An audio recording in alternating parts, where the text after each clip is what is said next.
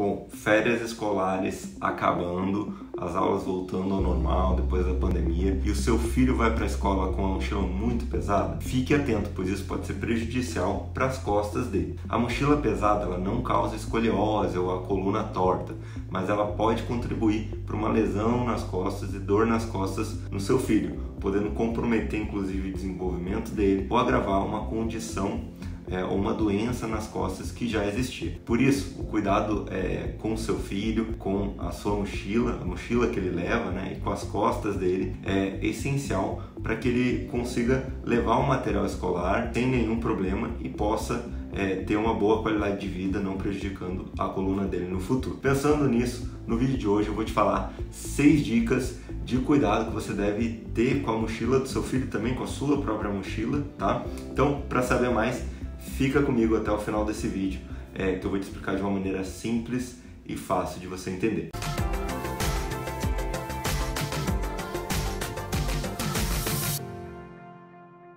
Bem-vindo ao canal das fraturas, meu nome é Marcelo Damado, eu sou ortopedista e ajudo você a viver sem dor e a se recuperar depois de uma fratura ou de uma lesão ortopédica. Às vezes, pequenas mudanças na nossa vida podem ajudar muito na melhora das dores e também proporcionar uma qualidade de vida muito boa para você. Hoje eu vou te falar sobre as mochilas, tá? E os cuidados que você deve ter, principalmente com o seu filho, que com certeza é, carrega uma mochila super pesada para ir para a escola. Mas antes de começar, eu quero te pedir para deixar o seu like aqui no vídeo, se inscrever no canal e também ativar o sino das notificações para você receber todos os vídeos em primeira mão.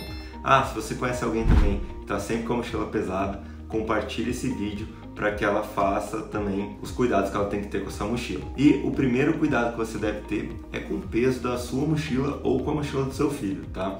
Não deixe ele ultrapassar mais de 10% do peso do seu filho. Então, se ele pesa 50 quilos, a mochila só pode ter 5. Se ele pesa 40, só pode ter 4 quilos. A segunda dica é que você incentive o seu filho a falar sobre qualquer dormência, formigamento, dor ou desconforto que ele sente nos braços ou nas pernas. Esses sintomas podem indicar é, um ajuste inadequado ali da mochila ou que muito peso está sendo carregado nela. O terceiro cuidado que você deve ter se a mochila é, do seu filho está muito pesada e ver como o seu filho coloca e tira essa mochila. Se ele tiver muita dificuldade para colocar e tirar a mochila, remova alguns livros e carregue é, nos braços para retirar o peso das costas. A quarta dica é não ignore qualquer dor nas costas do seu filho se for uma criança ou adolescente. Isso é um sinal de alerta, você deve procurar um ortopedista. Se você é, vê que a mochila também está muito pesada, confere com a escola sobre como aliviar a carga e o peso da mochila, tá? Para isso é importante se juntar também com outros pais para conversar lá na escola se tem como diminuir a quantidade de coisas que ele precisa levar para a escola.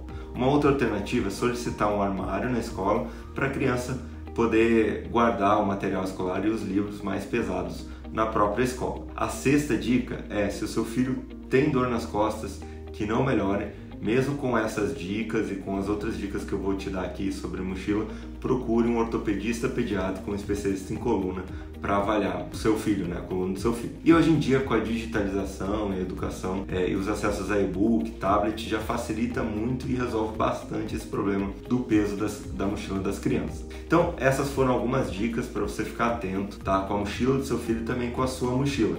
Porém, existem muitas outras. Para você saber os sete cuidados gerais que você deve ter com a mochila dele também, como escolher e regular a sua mochila, eu fiz um vídeo específico para você. Eles vão aparecer aqui no final desse vídeo ou então no canal. Se eu ainda não fiz, se inscreve aqui no canal e ativa o sino das notificações para você receber, tá? Precisando de nós aqui no canal, a gente está à disposição para poder te ajudar.